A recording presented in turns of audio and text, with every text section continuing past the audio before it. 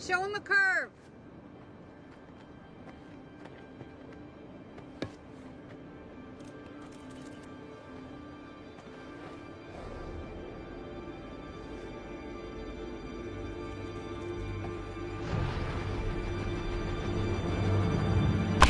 Gone forever, Aaron Hernandez.